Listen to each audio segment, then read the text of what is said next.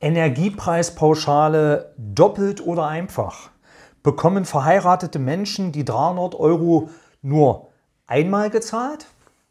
Mein Name ist Peter Knöppel, ich bin Rechtsanwalt und Rentenberater von Rentenbescheid24.de.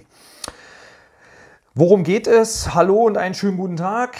Ich bin Rentner seit dem Juli 2020, bin verheiratet und meine Frau ist noch in einem erwerbsmäßigen Berufsleben.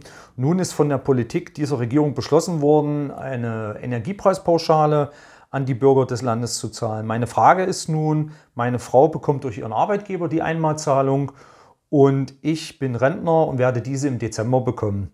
Bekommen wir nun beide die Zahlung 300 Euro oder nur einmal, weil wir verheiratet sind.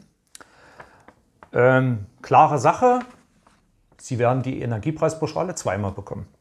Die Energiepreispauschale ist eine Kopfpauschale. Ich hatte ja schon mal ein Video dazu gedreht.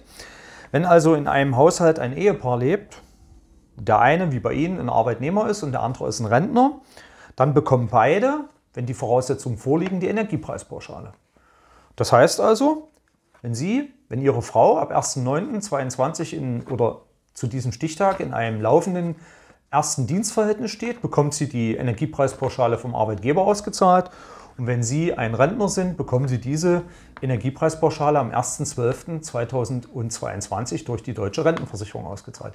Wenn in Ihrem Haushalt zehn unterschiedliche Menschen leben und alle sind Rentner, äh, dann bekommen alle diese zehn Rentner die Energiepreispauschale als Kopfpauschale in der benannten Höhe 300 Euro ausgezahlt.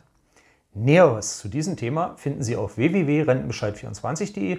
Ich wünsche Ihnen eine rentenstarke Woche. Ihr Rechtsanwalt und Rentenberater Peter Knöppel.